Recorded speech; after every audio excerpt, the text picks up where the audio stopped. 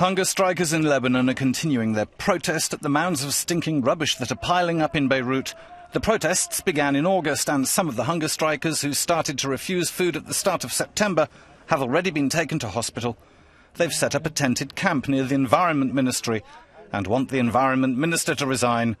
It's a protest that's already taken on a more general anti government turn. We're on strike because we can't stand the situation anymore. We're demanding the resignation of the Environment Minister.